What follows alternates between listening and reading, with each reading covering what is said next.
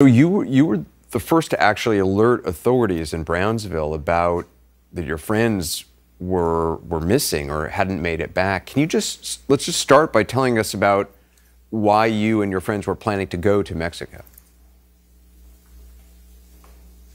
Um, my Latavia is my best friend. She hit me up and asked me to join her to accompany her um, in a trip to Brownsville, Texas for cosmetic surgery. And and we we began the road trip. We left out on Thursday and traveled to Texas. Once I got there, I was then informed that her procedure was being done across the border. Um, in that event, we were just arriving in Brownsville, Texas at Studio 6. And I didn't have proper identification, so I couldn't join her to go across to the border, which left me back at the hotel. So because you didn't know Um, you'd be going, you, you didn't know you'd be going out of the country. You didn't know you'd be going to Mexico. You didn't bring I- ID with you. Did you travel with her and, and the others Yeah, to I- Brownsville, or did you meet them there? No, we all traveled together. It was a road trip. So you, you did you so did you have any idea about threats down in Matamoros or what it was like across the border? Or did Latavia? No, sir, not at all. Not, not to my knowledge. I'm not. I'm assuming that she didn't know because I, I know her. Like, she's not gonna travel to danger.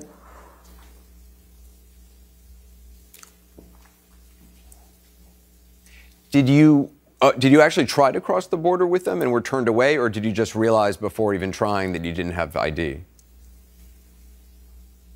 No, she told me. She told me that when I told her I didn't have my ID with me, she then they dropped me off at the hotel and said that they would return in 15 minutes. That's why I was so like worried and in fear because it didn't seem right.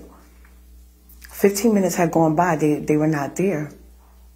So how long did you wait after 15 minutes? I mean, that must have been agonizing. When, when they dropped me off, sorry, when they dropped me off at the hotel, I had got into the shower.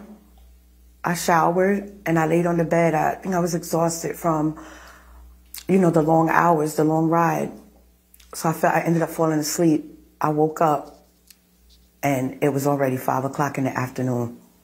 So from nine to five, I went down to the office, the clerk in the hotel, and I asked him had my friends come back or attempted to, you know, come in and out the hotel, come back to the hotel. And he told me no. Hmm. So I called my I called my boyfriend, I called Tay's brother, and I said something's not right. And I text my roommate. I said something's not right. Nine o'clock got here, twelve o'clock got here, midnight, and then now we're into Saturday morning at ten twenty three. It's literally a few minutes before checkout. Hmm.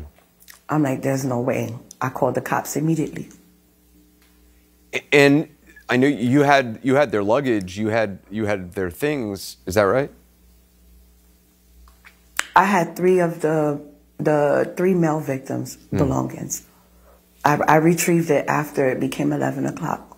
At what point did you learn about what had actually happened? When did you see the video?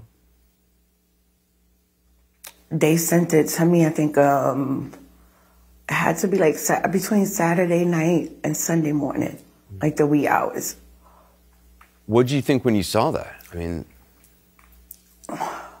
I dropped the phone. My body clenched up. I dropped the phone. My stomach was in knots. And I just began praying. I just began praying for the return of them. I didn't know much about the cartels and I started looking up videos and it was it was bad. It was bad. I, I, I began to think the worst.